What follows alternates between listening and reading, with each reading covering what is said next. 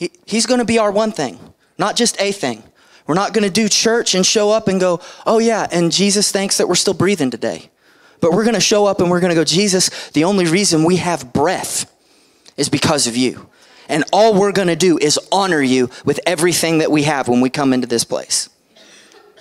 Because he deserves it. He's not a thing, he is the one thing. He's all that we need, and He's called us to love Him like we believe He's all that we need. He's called us to love Him with all our heart, all our soul, all our mind, all our strength. That's the first thing we're supposed to get down. That's it. He, Jesus says, This is my first and great commandment. Do this. Love me. Love me. Put me first. Value me. Don't make me something you're adding to your life. Make me the very thing that your life begins to revolve around Him. Amen. Oh, we've been talking about just pressing into the presence of the Lord and how now is the time for us to seek God. Can we put up Hosea 10:12? I don't know where I'm going right now, but I know I want to read Hosea 10:12. It's in there somewhere. Yeah. We prayed into this verse on Wednesday night. It was so good. It left for a minute, but now it's back. Sow for yourself righteousness, reap steadfast love. See, I believe that revival, there's some people that teach and believe that revival is just this miraculous thing and that people don't have anything to do with it. I call bull on that. I believe that people do have something to do with it. I believe that people have to sow for themselves righteousness. And that means if we haven't been living a righteous life according to God's standards, then it's time for us to repent, turn away, and go, I know. We know. I'm looking around. I think we know what God's righteous standard is. We know what it is. And if we haven't been living according to that standard, if we haven't been living according to holiness, then the Lord's saying it's time to start sowing righteousness. We want to know why we're not reaping the steadfast love of God. Well, have we been sowing the righteousness He's called us to sow? And guess what? He hasn't left us um, in our own weakness to try to lead a righteous life. Glory to God, somebody. We have a comforter. We have the Holy Spirit. And his name is holy for a reason because he leads us into holiness. Because when we yield ourselves and surrender to him, he actually empowers us to walk out a holy life. When we yield ourselves to him, we're able to walk in the light just as Jesus walked in the light. Isn't that something? I guess really something. And, and we can cry and beg God for revival all we want, but if we're not willing to sow righteousness, I believe that those prayers are just hitting the ceiling. The Lord wants us to start going, hey, I know there's things in my life that aren't right. It's time for me to get those things right. It's time for me to return to the Lord with my whole heart because He's called me to walk in righteousness. It's still in your Bible. Be holy as I am holy. Still in there. And let me tell you, I'm, I'm, preaching to me right now. Y'all looking at me like, James, you're coming at me hard. I'm coming at me hard because this is a call to me. This is a call to my heart. He says, Be holy as I am holy. Guess what? I don't think our Heavenly Father gives us a command that He goes, Eh, I'm going to give you something that's so hard, I know it'll be impossible for you to do. I want to set you up to fail. You think your Father's doing that? Do you think a good God in heaven would say, Here's what I'm going to do I'm going to give these people a command that I know they'll never be able to obey be holy as I am holy. But most of us have looked at that and went, Well, there's no way I can be holy like God's holy. So we kind of just write that away in the Bible. But guess what? He wants us to be holy as He is holy. And He's given us the power to be holy as He is holy. And we're, we're asking God to do something. We're wanting God. We're begging God. I'm begging God to do something in my life because we need it. Like we've we've messed around and and here's the deal. Number 1, I'm I'm the oldest millennial's 38, so I'm kind of at the top end of millennials. Do you know you had a millennial pastor? That's crazy. Man, you didn't sign up for that, did you? um, but the oldest millennials, everybody just figured like in past generations, what had happened was okay, everybody knew that, you know, when you went to college and in your early 20s, you know, you kind of strayed from the church. But then once you had kids, you would kind of come back and get into church. Guess what? Millennials didn't do that. Not by and large. They didn't. They left the church and they didn't come back. Why? Sometimes we need to ask ourselves hard questions like, why didn't they come back? I would propose to you it's because we didn't have anything real to offer them. Because we had settled for our religious routines and motions, and we decided we're okay with playing church while we watched our sons and daughters leave and just thought, well, they'll come back someday. Instead of actually being broken over it and saying, what are we going to do to make sure our sons and daughters never walk away in the first place? And here's the deal that's happened with millennials, and now Generation Z, who is everybody 18 and under. This has just got my heart captured. I talked about it last night when I was talking to teenagers. Generation Z, everybody 18 and under, guess what? Because we've decided to just kind of ride the fence and play church and not really go after Jesus because we've allowed Jesus to be a thing and not one thing because Jesus hasn't been real, Generation Z is now projected to be the very first in American history, the very first generation that is post Christian in American history. We've lost them. They're gone. God isn't even part of what they think about.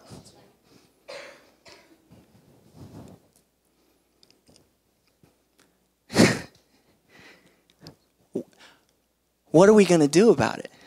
That's why I'm saying we've got to have revival. And it's got revival starts in the house of God. When the church is revi- revived and, and brought back to the standing that she's called to be in, then guess what? Awakening can start taking place in the world. When we turn to the Lord and we start saying, I'm going to sow righteousness. Where'd my passage go? I need it back. Hosea 10, verse 12. It's in there. So righteous. Then guess what? We will reap the steadfast love of the Lord. Break up your fallow ground, for it is the time to seek the Lord.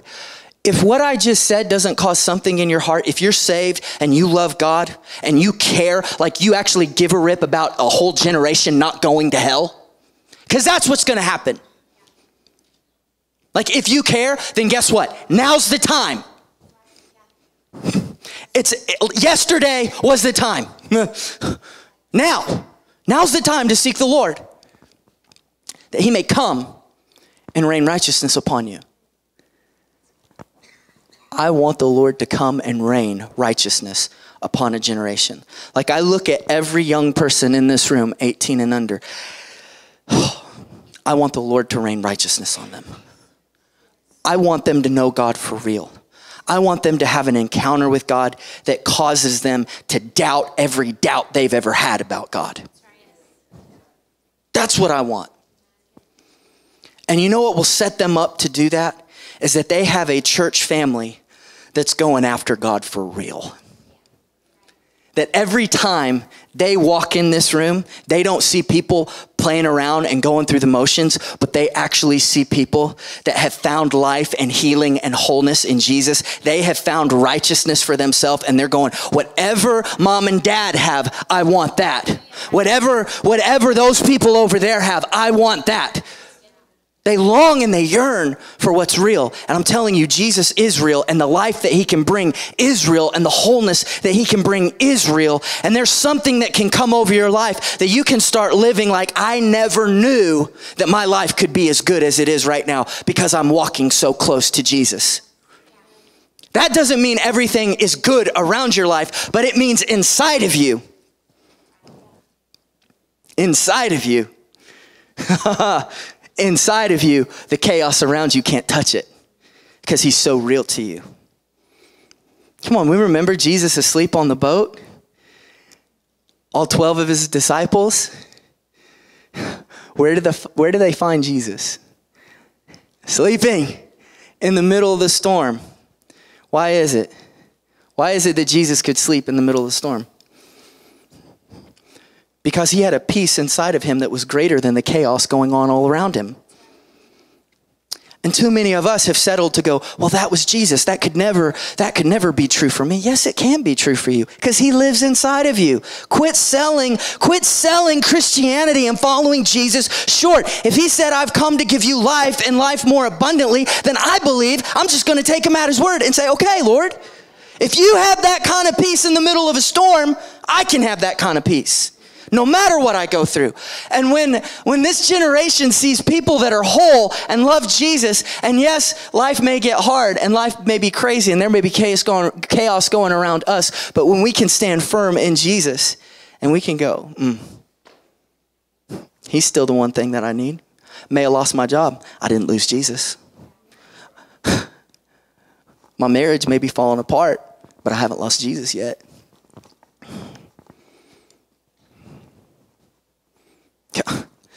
Come on. There's something that can rise up inside me. I have the one thing that I need. If we will sow, if we will break up that fallow ground and realize it is the time to seek the Lord, that He may come and rain righteousness upon us, that's what we need. We need the rain of righteousness to come on a generation. And it's, it's going to take, listen, I understand. I understand we would we would look around the, a room this morning and we would think, you know, maybe and this is like not even a knock on Life Church. I'm glad Life Church is in Shawnee, America. I think thousands of people are being saved and I ain't I ain't even I ain't even griping about that. Praise the Lord, okay?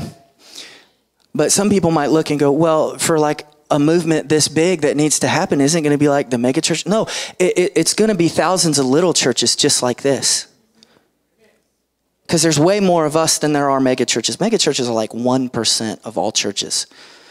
In fact, most people prefer to be part of a congregation that's that's 100 people or less because you get to know people and build real relationships. So, I don't look at the fact that we don't have thousands as a weakness. I look at it actually as one of our greatest weapons to be able to connect with people, to actually be able to know these young people that are part of Generation Z and say, not on our watch are we going to let you and, and your generation be lost. Like, we're going to contend for you, we're going to stand with you. we'll, we'll, we'll do what it takes to see revival hit in our day so that we don't see a generation lost. It's going to take thousands of little churches like this. Jesus, Jesus didn't go, I need a mega church to change the world. He invested his life in 12 men. And then he had 120 in an upper room. That's it little church. In fact, that's about what we average about 120. Oh, I love it. Oh, I love it. I love the fact that if we'll position ourselves, maybe one of these Sundays we'll walk in this room and a mighty rushing wind will hit this sanctuary. And we'll have we'll have cloven tongues of fire start dancing over people's head and we'll be empowered to do something about what's happening here and now. He don't need the thousands. He just needs a few. Hungry, sold out, ready to go for him, no matter what it costs. I want to be one of the ones. Because I, I, I just have enough faith to believe that he can do it again. I do. I have enough faith in my heart to believe God can do it again. If he's done it before, he can do it again. I told the story of the Welsh revival, and I've talked a little bit about the Welsh revival on and off, but I just want to remind you of the Welsh revival again because it's in my heart from speaking about it last night. Um, the Welsh revival was one of the, a significant move of God that impacted America, um, impacted kind of the Pentecostal movement. Kind of, we, we kind of have some roots in what was happening in Wales, but the Welsh revival took place in 1904 and lasted till about 1906. And during that time, in Wales, um, God just sent a mighty move of God. He used a guy that was 26 years old named Evan, Evan Roberts. At 13 years old, he started praying every day that God would send revival to his nation. Every day he began begging God. About 90 days before the revival hit, the Lord started waking him up at 1 in the morning. And he would pray from 1 till 5. Then he would fall asleep around 9, get back up at noon, and then pray for another three or four hours before he went to work in the in the mines. Just praying, begging God to send an outpouring. This this just been praying 13 years. Well, in his church, uh, one night they gathered together a youth prayer meeting. And as the prayer meeting's going, it, it was just kind of just kind of run of the mill. You know, it was nothing nothing big was happening in the meeting. But all of a sudden, a 13 year old girl, which I love how the Lord kind of worked that together. Evan Roberts started praying for revival at 13, and then a 13 year old girl stands up in, in, the, in the prayer meeting to testify. And all she says is, Here's all I know I love Jesus with every shred of my being. I love him. And it said that something hit that meeting when she spoke those words. Like the fear of the Lord and the presence of God overwhelmed the, the handful of young people that, that were there. And they look at that, and that's what sparked the revival, that moment right there.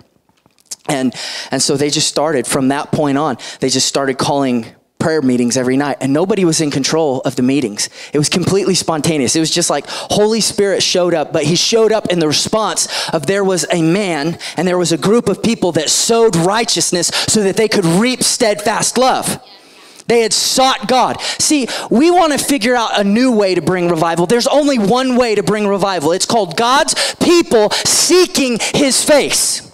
It's the only way it comes. It doesn't come from having better church services. It won't come if I get to be a better preacher, which I know some of you are praying that that'll happen. It's not going to come because of that. It's not going to come because the music gets better. It's not going to come because we have a nicer building. It will come only when God's people decide we're going to seek Him. And there was a group of young people that started seeking God's face. And every night they would start around six when people got done at the mines and they would come in and they would just sit and they would wait on the Lord. And one of the things that Evan Roberts would do, he was considered the leader of the revival, but most nights all he did was sit in the front. And he would, he would get his head down as far as he could, usually. And the only thing that people heard him say, Lord, bend us. Lord, Break us. That's it. That's all they heard. And as he would pray, people would spontaneously, spontaneously get up and lead a song that everybody knew. They just sang real simple songs. So would, somebody would get up and start singing. They would just break into worship spontaneously. And then somebody would just share about what God was doing in their life. And then somebody would cry out, I need to get saved right now. And they'd lead the person to the Lord. The Holy Spirit just started moving. But it wasn't, it wasn't that people hadn't done anything, people had done something. They had sought the Lord, and He showed up in power. And within the first two months in Wales, 70,000 people were born again. And it wasn't, it wasn't born again like sign a commitment card. It was radical salvations. Police officers got bored on their patrols because there was no crime in the streets. And, and Wales was a rough community because it was a mining town. So the police usually stayed real busy. it's amazing. Bars closed. like people weren't drinking anymore. They'd found the new wine. they, they didn't need the stuff that they used to rely on. 70,000 people saved. My favorite story, my favorite story is how they had to retrain the mules that worked in the mining uh, in the in the mines. Because, dude, can you imagine? Okay, coal miner. This ain't the kind of dude that uses the language we're using in this room right now. Okay, like rough. These are some rough old boys, and so the way they had trained the mules was they had trained them with curse words. And so when the Lord saved them, the Lord cleaned up their mouth. They stopped using the language they used to use. And it said it took them three months to retrain the mules on how to do the commands they were giving without curses coming out of the mouth, without them cussing at them. Like, this wasn't just they checked something off the checklist, like the Holy Spirit really got a, a hold of people's hearts. And it started with just a small handful of people. And I, I honestly, I believe I don't know when it's going to come. I don't know how it's going to come. I'm believing and I'm praying that God's going to God's going to raise up enough pockets of people. Maybe we'll be part of it. I pray we'll be part of it.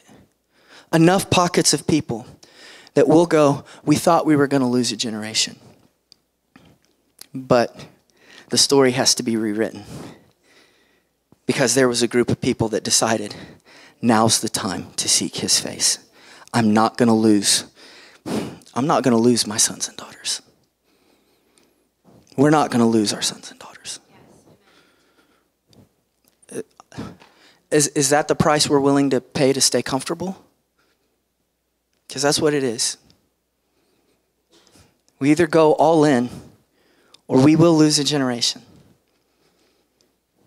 I, I didn't even mean to talk about this, but it is what it is. I don't, I don't, I don't want to be the guy that's a part of church leadership that they go back and look and say, they just kept going about business as usual.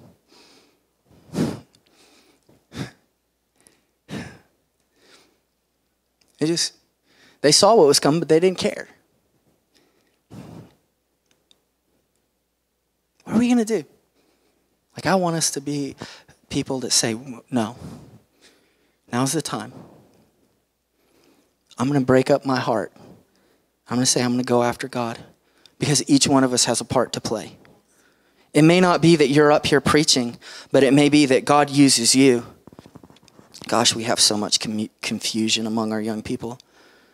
Our young men don't know how to be men. Our ladies don't know how to be ladies. All this gender neutral nonsense. We're so confused. Like, I'm not talking about like you know, but there is a difference, okay? If, if, if you don't know there's a difference, then you're just blind. You are. Like, I, I have seen it, like with my little girls, it was like they were born speaking full sentences. Like, uh, I know that's a little bit of an exaggeration, but Grace, right before she was two, she could carry on conversations with us. And then I come and I hang out with some of the little boys. And you know how they talk? you know, like, you know. And you're telling me that God hasn't created them differently? They're different, man. Because we want to rebel against God, we're trying to push nor- our own norms on them. And we need a generation to help come alongside them and go, yeah, buddy, it's okay for you to break things and blow stuff up. Because that's kind of how God wired you to be. And we're okay with cleaning it up. And we're okay with you climbing trees and breaking arms and being a boy because that, you know, like, it's all right. And girls, we're all right, you know, you being ladies. Nothing wrong with that, you know? And there's nothing wrong with little girls that want to play sports and climb trees and do stuff, you know? Gosh. But man, we've got, we've got our work cut out for us, and it's gonna, it's gonna take more than me. It's gonna take all of us saying, we've got to come alongside these that are coming up and pour into them. And you know what? I, I think what would happen is if we took our focus off of us and we actually started doing what Jesus wants us to do, which is to live for others like he showed us and modeled, guess what? I think our problems would get a lot smaller. So many of us get so isolated in our stuff because we're so focused on ourselves. And I believe the Lord's inviting us to go, this thing is so much bigger than you. Look at who you can serve. Look at who you can love. And if you'll do this, he'll expand, he'll expand that little box that you're living in that's all about me and my world. And you will be blessed.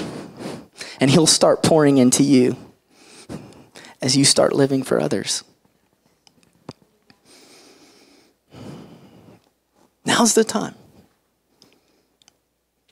Now's the time to seek the Lord. I, I don't. What else are we going to wait for? Like it, it kind of, like to me, this is like our Pearl Harbor moment. Like the United States wanted to just stay out of World War II. I'm gonna end. I'm gonna end right here. All right. United States wanted to stay out of World War II. They really did. They didn't. They were like, you know, Europe, you figure that out. But then the battle came to them. You bomb Hawaii, guess what? Now we don't have a choice. But can you imagine the United States had decided, you know, they bombed us. Let's just hope and pray they don't send anybody else. Because I feel like that's kind of what the church is doing. The devil's been bombing us. He's been bombing the generations for years. And we're just kind of crossing our fingers. Maybe he'll quit. Newsflash, he ain't going to quit. Now's the time. Now's the time. This is it. How, like, and this isn't a fear thing. Because having these little ones stand up here and just say, my fear doesn't stand a chance, we are going to raise up a generation. We are. We've got them right here. We are going to raise up a generation to know and seek the face of God. It's not going to happen on our watch. Amen? Amen. Colton, will you go to the piano, man? Would you just begin to pray? I'm not really sure exactly what the Lord wants to do yet. But can we just pray and see what He wants to do? Thank you, Father. Thank you, Father.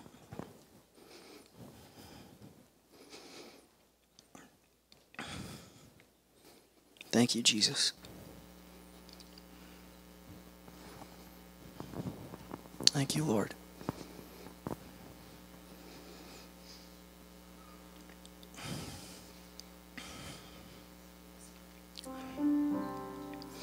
Jesus, we need you. Jesus, we need you. Jesus, we need you. I'm just, I'm just going to ask don't, don't keep it in your heart right now. You don't have to pray like super loud, but, but at least let words start coming out. Begin to pray. Like, let's begin to pray together right now. Lord, we need you. Lord, we need you. Lord, we need you. Lord, there's a generation coming that needs you. Lord, we've watched for too long. We need you. Lord, we've got we've gotten too focused on ourselves. And we need you to lift our heads so that we can see that there's a harvest. Oh, we need you, Lord. We can't keep going the way we've been going. God, thank you that this church is perfectly positioned to see revival. Thank you that we're perfectly positioned to see a generation come to know you. Thank you that we have so many young ones in our congregation that we can pour into, that we can send into this generation to be the light. Thank you, God. Oh, God, break our hearts, Lord. If our hearts are not broken, Lord, break them now. We need a move. We need a move. We need a move, Lord. Like never before, we need a move.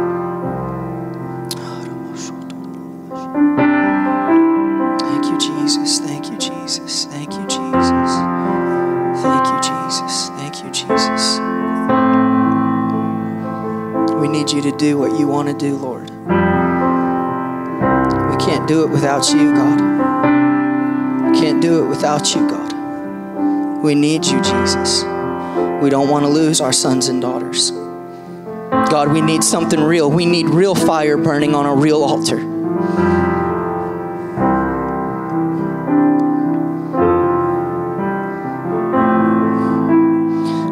Kids to have encounters that cause them to doubt any bit of doubt that they would ever walk with, Lord. We want them to know you, a real God. Jesus, we need you. Jesus, we need you.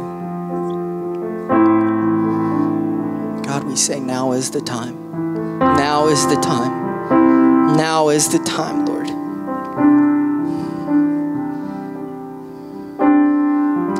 off the hardness of heart.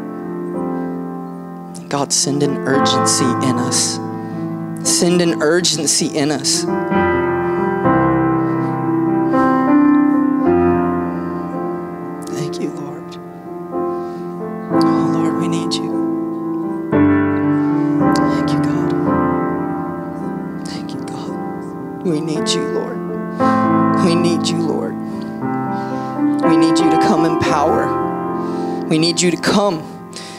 Clarity that only your Father's voice can bring, Lord.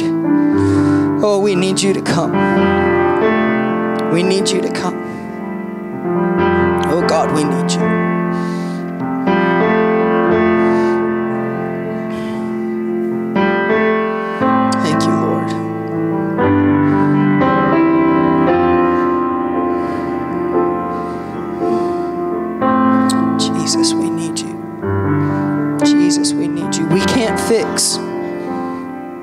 We can't fix what's coming, Lord. Only you can. Only you can. But Lord, we know you won't come where you're not invited.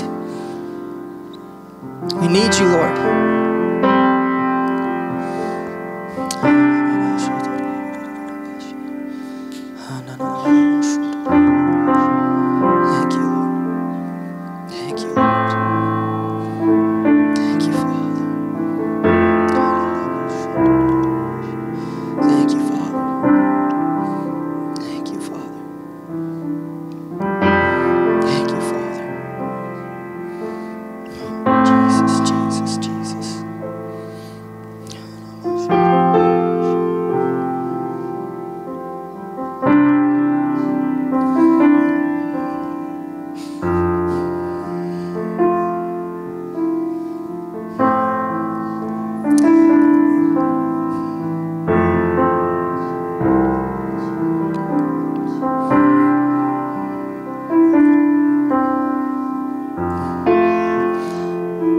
I honestly don't know that I've conveyed what's on the Father's heart.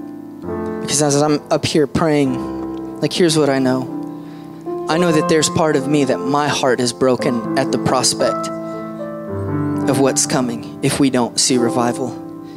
But just as I'm pacing and I'm praying up here, like, I feel like that's just a small taste of the brokenness that our Father is feeling because it's not his will that any should perish. He, he does not want a generation to be lost.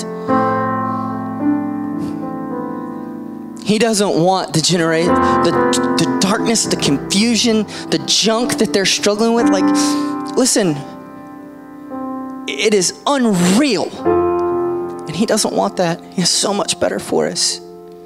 But we've got to shake ourselves out of the apathy and get in touch with his heart and sense that like his heart is broken over this. Like since i've heard generation z is the first post-christian generation like i haven't been able to shake it. This is my daughters. It means something to me. I got skin in the game here And if that's how I feel for my three girls, let me tell you something Generation Z is huge. There's millions of, of young people that are part of Generation Z. Let me tell you something there is a Father in heaven that his heart is breaking to see a generation that will not know him, that will not know his ways, that will not know that he's kind, that will not know his love, that will not know the wholeness that he can give to them. He wants us to have some of that heart. He wants us to feel his heart this morning. Jesus. Jesus, help us.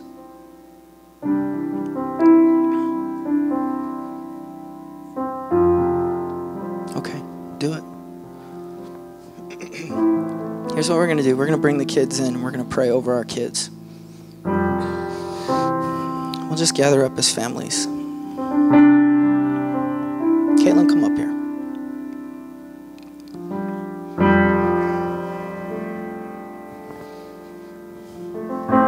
She's goofy as all get out, but she really does love Jesus a whole lot. And I think she's one that is a leader in her generation.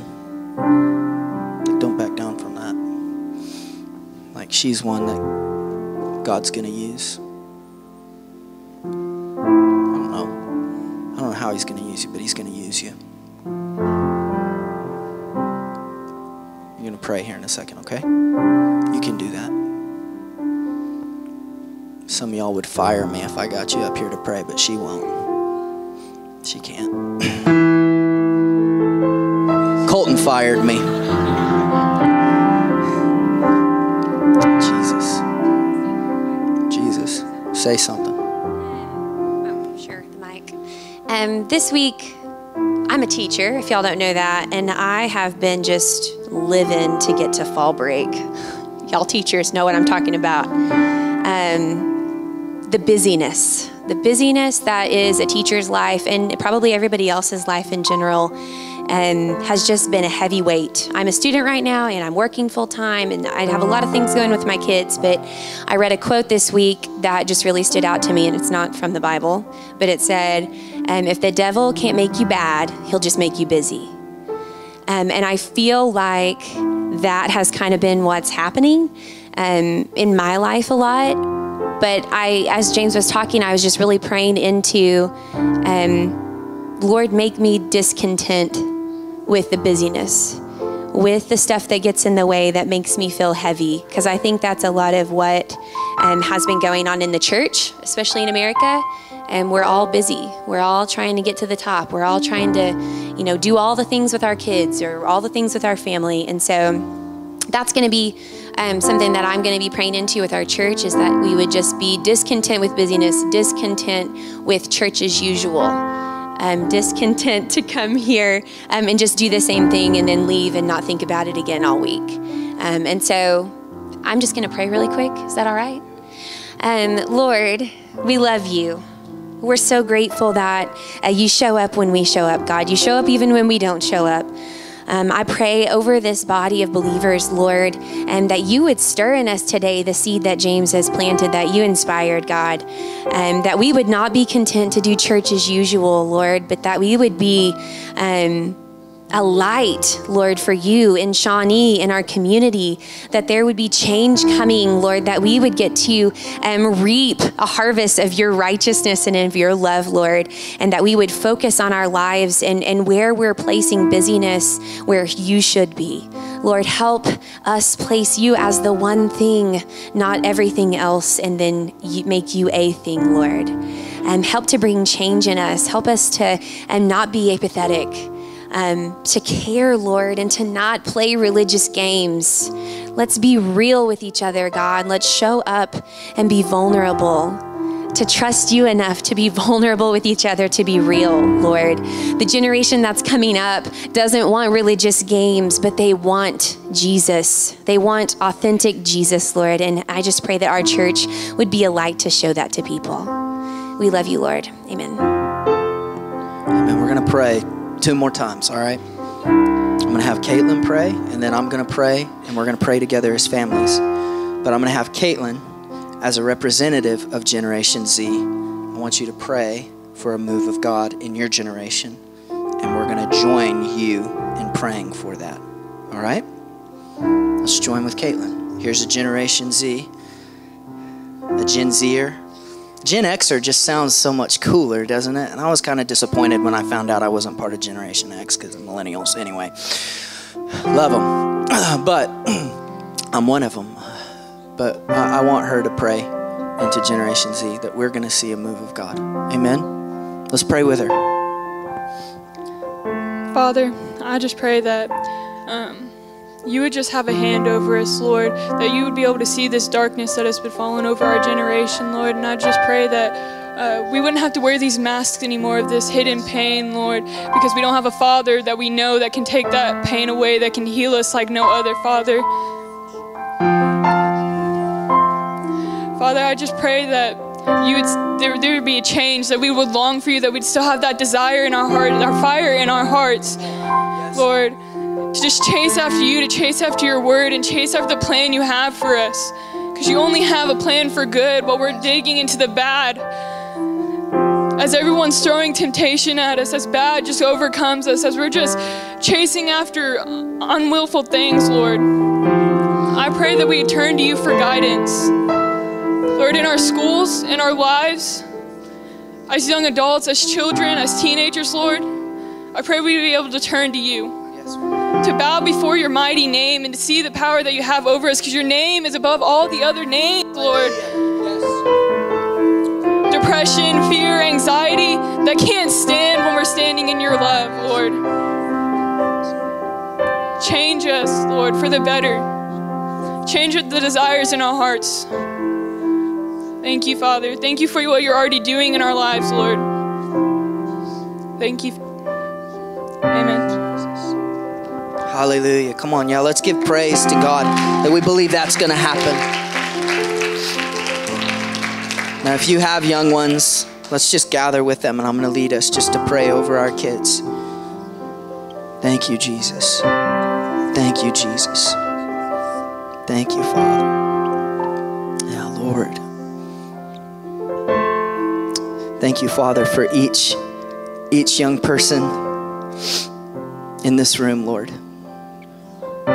God, thank you that you have a plan and a purpose, a destiny for each one of these young people, Lord.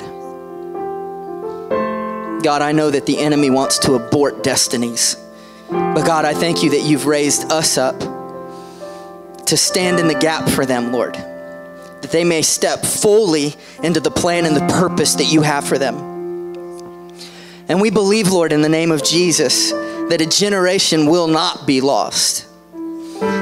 That, Lord, when they go back and they write about this period in history, that, Lord, it will confound the historians, it will confound the sociologists as they thought for sure that America was going to go the way of Europe and that we were going to lose uh, that Christian heartbeat, Lord. But Father, you would, you would just allow there to be a remnant that remains, God and that we would see a generation rise up and step into the fullness of your plan and purpose, step into the fullness of the power that you've given to them. Lord, we thank you that there's not a junior Holy Spirit and that you want to fill each one of these young people with you, the, the power of your Holy Spirit, Lord, to be used by you, to impact their families, to impact their schools. Lord, to be used by you in this church, God.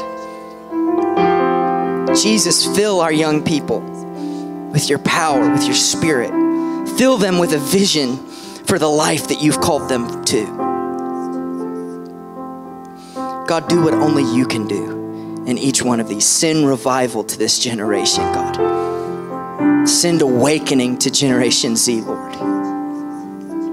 Thank you for what you're going to do. We love you, Father. We believe that it will be done. In Jesus' name. Hallelujah. Hallelujah. God is good. Amen. Hallelujah.